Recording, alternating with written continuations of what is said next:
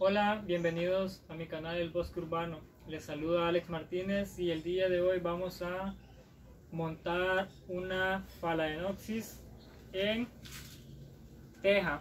Vamos a explicar algunas cosas básicas y consejos. Pero antes les quiero mostrar mi Brasocatleya. Han estado en floración últimamente. También mi Prostechia cocleata o pulpito que es la flor nacional de Belice, y una nueva adquisición que es un Nepentes o Nefentes, una planta carnívora que desarrolla unos jarroncitos aquí, que más adelante les vamos a mostrar los cuidados eh, básicos que se debe de tener con ellas. Bien, vamos a montar, como lo había dicho, en una teja. Se puede hacer en tronco, en macetera de barro, en teja em, y en tetmos o tallo de helecho arborescente.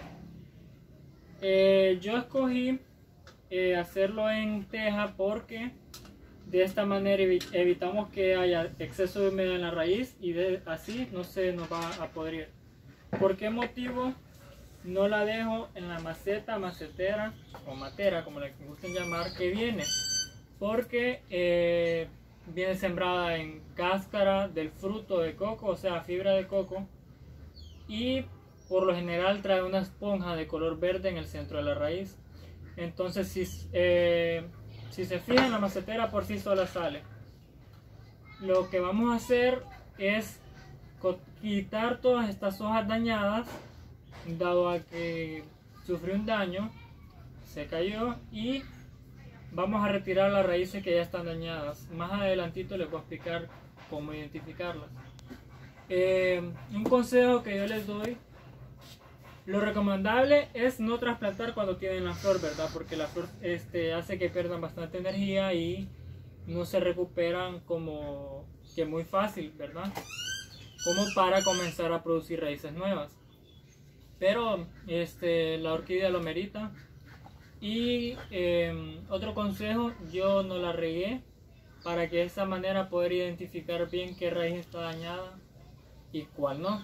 Entonces procedemos a sacar, quitamos todo lo que es el coco, quitamos estas varas que detienen la vara floral que ya no nos van a servir para nada,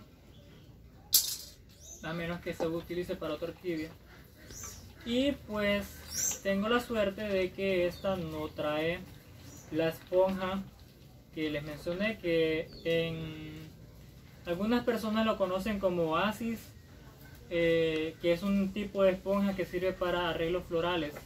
Es una esponja que es bien finito los agujeritos y no pesa en absoluto.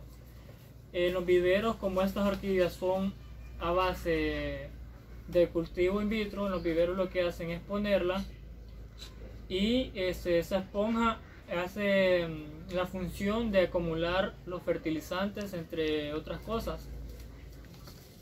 Y eh, cuando ya salen de los viveros verdad lo que las consecuencias que tiene es que pudre la planta porque uno la riega uno no sabe.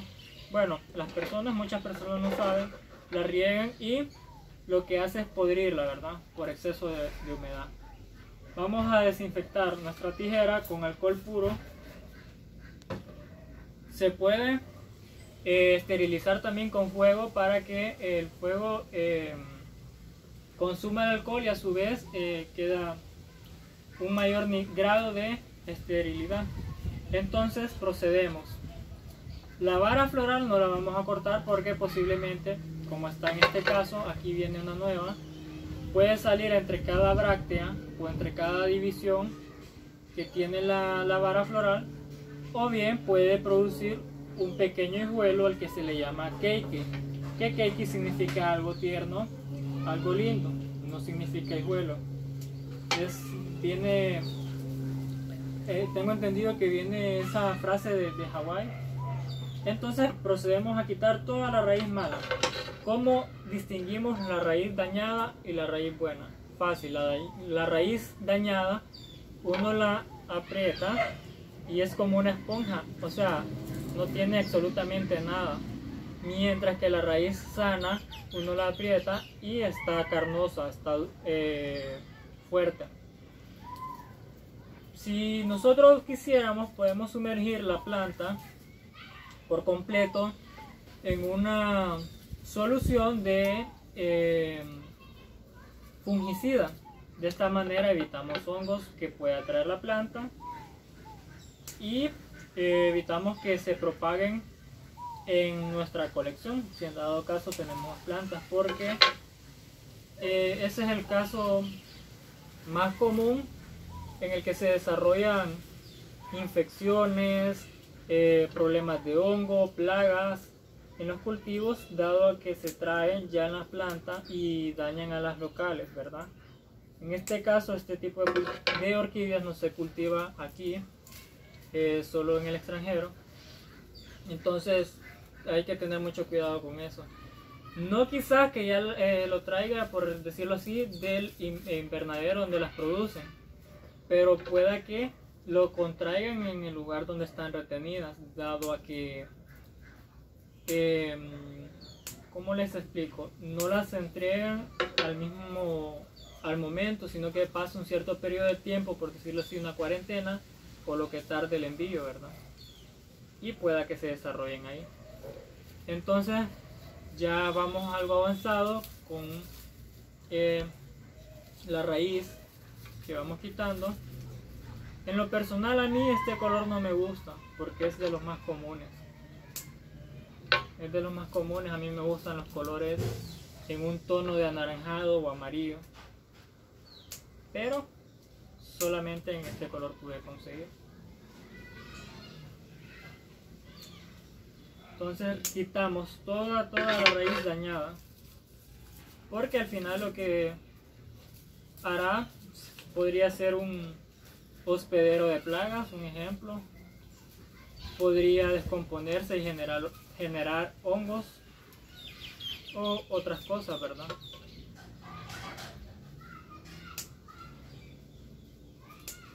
Nuestra orquídea va a quedar con pocas raíces porque sí tiene bastante raíz dañada y tal vez muchas veces se da por un mal riego.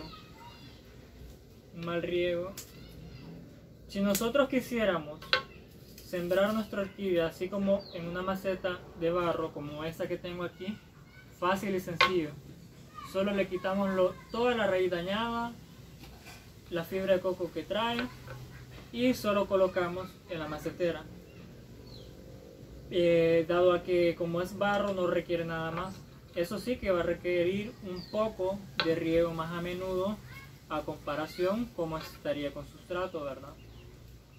Pero en la naturaleza las orquídeas no crecen en sustratos, crecen en árboles, en piedras o directamente en el suelo si en el caso son terrestres. Como en el caso de las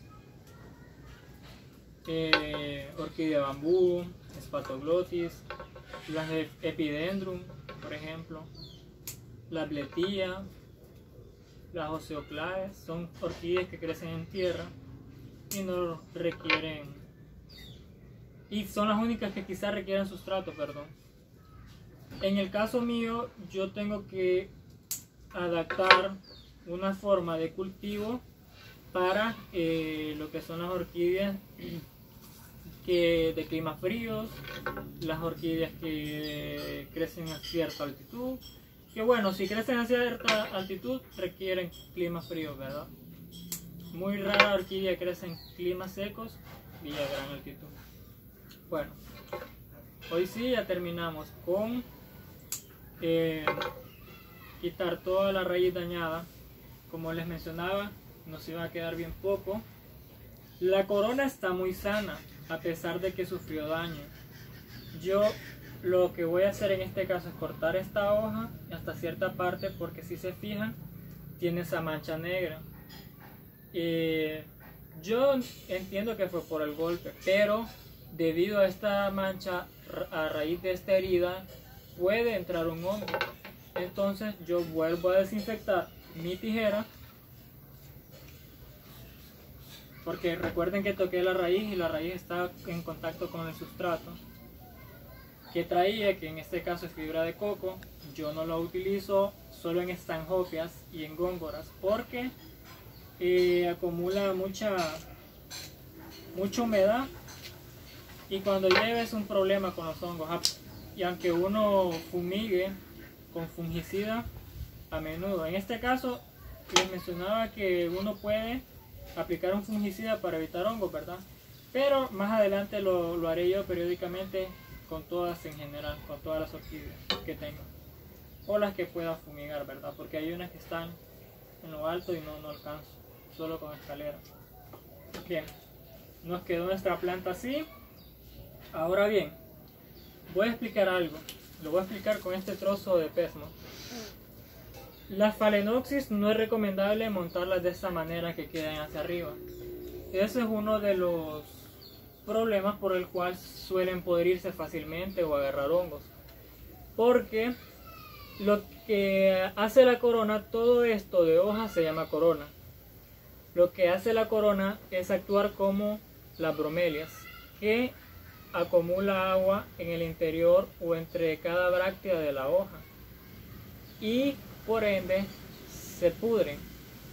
Muchas veces eh, la pudrición comienza con con señales como esta, se pone amarilla, luego negro y por último se pudre. Entonces lo que vamos a hacer, si yo la montara en un trozo de madera, la montaría de esta manera, que quede así y ella naturalmente iría buscando así en forma curva el ápice hacia arriba o simple y sencillamente crecería hacia abajo las hojas un poco torcidas y las varas florales saldrían hacia arriba. Esta misma técnica la voy a aplicar en la teja. Lo mismo se haría en macetera de barro. O tener un, un cuidado eh, más específico con el riego, ¿verdad? O simple y sencillamente ponerla en una macetera de barro y que cuelgue. De igual manera como lo estoy mostrando. Yo, eh, como lo mencionaba, no sé si me puedes enfocar aquí por favor. Lo voy a montar yo lo puedo hacer de la siguiente manera. Lo puedo hacer con mechas de trapeador, que es algo que se puede eh, desintegrar con el paso del tiempo. Pero en este caso lo voy a hacer con fajillas plásticas.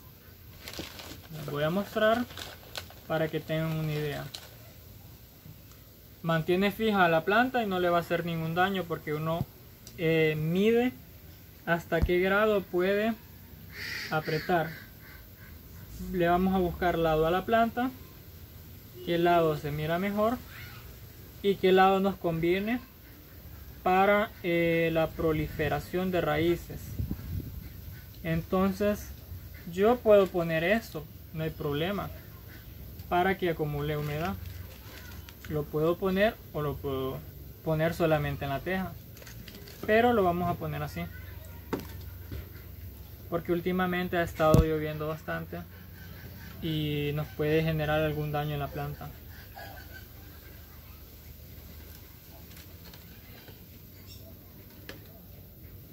Entonces procedemos a colocar bien la fajilla.